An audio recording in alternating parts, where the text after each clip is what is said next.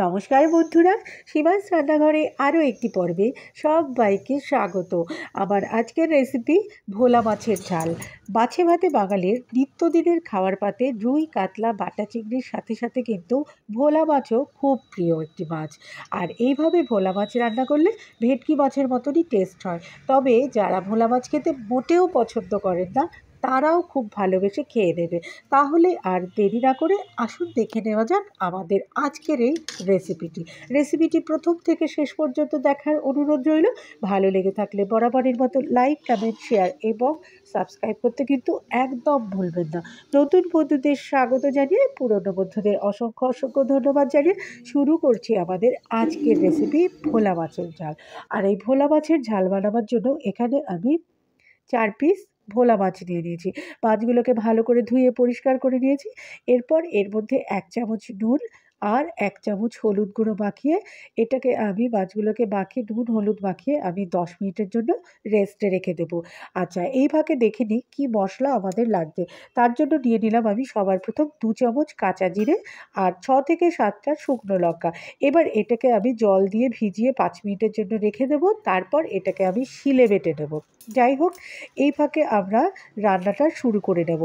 সবার প্রথম আঁচে কড়াই চাপিয়ে দিয়ে তার মধ্যে কড়াইটা একটুখানি গরম হওয়ার পরে দিয়ে দিলাম সাদা তেল। রান্নাটা কিন্তু আমি সাদা তেলে করছি। আপনারা চাইলে অবশ্যই সর্ষের তেলে করতে পারেন। এরপর এই গরম তেলের মধ্যে সামান্য এক চামচ মতো আমি নুন দিয়ে দিয়েছি, যাতে করে মাছগুলো নিচে লেগে না যায়। আর এই মাছ কিন্তু আমি দুটো ব্যাচে ভেজে নেব, কারণ ভোলা মাছ কিন্তু খুবই নরম প্রকৃতির মাছ হয় বলে খুব সাবধানে ভাজতে হয়, আর না হলে কিন্তু ভেঙে যাওয়ার সম্ভাবনা থাকে। আর এই মাছ একটু লাল করে ভেজে নেব, যাতে করে এই রান্নাটা কিন্তু লাল করে যদি মাছটা ভাজা হয়, তাহলে কিন্তু এই মাছের ঝোলের স্বাদটা খুব সুন্দর হয়। যাই হোক, আমাদের এই যে মাছ ভাজা হয়ে গেছে, এইবার এই মাছগুলোকে আলাদা একটা প্লেটে শিফট করে দেবো আর বাকি মাছগুলো কিন্তু আমি এই তেলের মধ্যে আবার ভেজে নেব। এই যে দুটো মাছই আমাদের ভাজা হয়ে গেছে, খুব সাবধানে মাছগুলোকে নাড়াচাড়া করতে হয়, তাহলে কিন্তু মাছ ভেঙে যাওয়ার সম্ভাবনা থাকে না, থাকে। আর মাছ ভাজার সময় যদি আমি একটুখানি দুধ দিয়ে দিই, তাহলে কিন্তু মাছ নিচে লেগে যায় না। যাই হোক, এই সমস্ত টিপসগুলো কিন্তু আমার সমস্ত বন্ধুরা জানে, তবুও যে সমস্ত বন্ধুদের প্রথম রান্নাটা শিখছে, তাদের উদ্দেশ্যে আমার বলা। এইবার ফোড়নে দিয়ে দিলাম চারটে পাটিয়ে নেওয়া এলাচ, দুটো দারচিনি আর এক চামচ কালো জিরে। দেওয়ার পরে ফোড়নটাকে একটু তিরিশ থেকে চল্লিশ সেকেন্ড একটু নাড়াচাড়া করার পরেই এরপর এই তেলের মধ্যে দিয়ে দেবো। আমি কিন্তু মাছ ভাজার তেলেই পুরো রান্নাটা করছি। এবার দিয়ে দিলাম আমি আদা, রসুন বাটা আর এই যে আগে থেকে যে জিরে বাটা আর লঙ্কা বাটা দিয়েছিলাম, সেটাকে আমি এর মধ্যে দিয়ে দিলাম।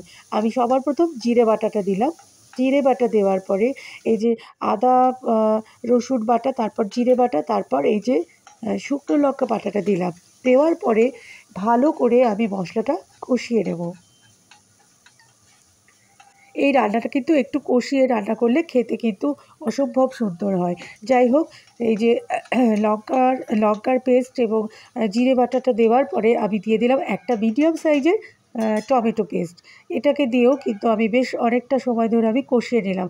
এইবার দিয়ে দেব পরিমাপ মতো নুন, আর দেব কালারের জন্য হলুদ গুঁড়ো, আর দেব এই যে কাশ্মীরি লঙ্কার গুঁড়ো। ঝালের জন্য কিন্তু আমি, আমরা আগেই দিয়ে দিয়েছি শুকনো লঙ্কা বাটা। আর দিয়ে দিলাম টেস্টটাকে ব্যালেন্স করার জন্য সামান্য পরিমাপে চিনি দিলাম।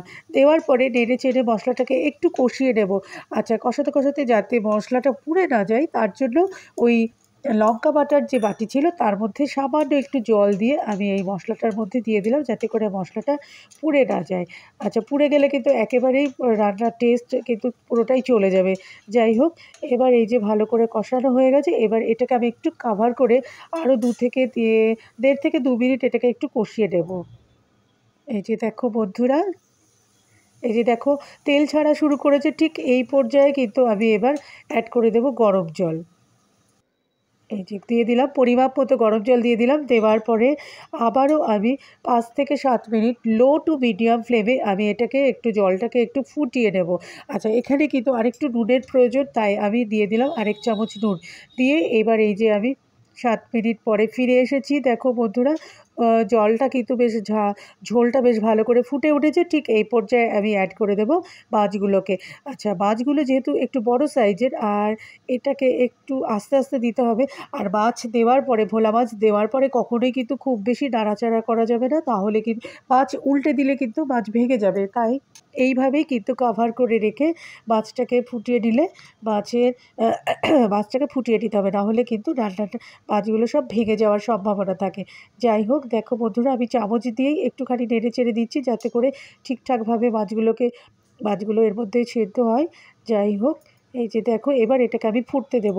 এবার এটাকে আমি তিন থেকে চার মিনিট এই ঝোলের সাথে ফুটতে দেব। তার আগে দিয়ে দেব কাঁচা পাকা, চেরা কাঁচা লঙ্কা। আর দিয়ে দেব সামান্য একটু ধনে পাতা। এতে করে টেস্টটা আরও সুন্দর হবে। এইবার দিয়ে দেবো, আমি কোনো গরম মশলা ইউজ করব না। এখানে দেবো আমি ভাজা জিরের গুঁড়ো। রোস্ট করা যে জিরে জিরে গুঁড়ো ছিল সেটা আমি দিয়ে দিলাম। দিয়ে এবার এই যে আরেকটু চামচ দিয়ে আমি নেড়ে চেড়ে ঝোল, এই যে মাছগুলোকে একটু ঠিকঠাকভাবে দিলাম। দেওয়ার পরে এবার এটাকে কাভার করে আমি এটাকে ফুটতে দেবো। এই ঝোলের সাথে আমি আরও তিন থেকে চার মিনিট আমি এটাকে লো টু মিডিয়াম ফ্লেমে ফুটতে দেবো। যাই হোক, এই যে হয়ে গেছে। এবার এটাকে আমি কাভার করে তিন থেকে চার মিনিট এটাকে আমি এই ঝোল, ঝোলের সাথে মাছটাকে একটু ফুটিয়ে নিয়েছি। দেখো বন্ধুরা, আমি কিন্তু এবারে আর কো খুন্তি দিয়ে এটাকে আর মাছটাকে উল্টে পাল্টে দিয়ে দিই একবারও, তাহলে কিন্তু মাছ ভেঙে যাওয়ার সম্ভাবনা থাকতো। যাই হোক বন্ধুরা, এই যে তৈরি হয়ে গেল আমাদের আজকের রেসিপি ভোলা মাছের ঝাল। অনেকে অনেকভাবে ভোলা মাছের ঝাল বানিয়ে থাকেন, কিন্তু একবার আমার মতন করে এভাবে ভোলা মাছের ঝাল বানিয়ে দেখুন, খেতে কিন্তু অসাধারণ লাগে। তাহলে তৈরি হয়ে গেল আমাদের আজকের রেসিপি ভোলা মাছের ঝাল। রেসিপিটা কেমন লাগল অবশ্যই কমেন্ট বক্সে জানাবেন। ভালো লেগে থাকলে বাড়িতে অবশ্যই ট্রাই করবেন। আর যারা আমার চ্যানেলটাতে ফার্স্ট টাইম ভিজিট করছেন, তাদের কাছে অনুরোধ রইল চ্যানেলটাকে সাবস্ক্রাইব করে নেওয়া। যাতে করে নতুন কোনো ভিডিও আপলোড হওয়ার সাথে সাথে নোটিফিকেশানটা আপনাদের কাছে পৌঁছে যায়। আর আমার যে সমস্ত বন্ধুরা প্রথম থেকে আমার সাথে আছেন, তাদেরকে অসংখ্য অসংখ্য ধন্যবাদ। এভাবে আমার পাশে থাকার জন্য ভালো থাকুন সুস্থ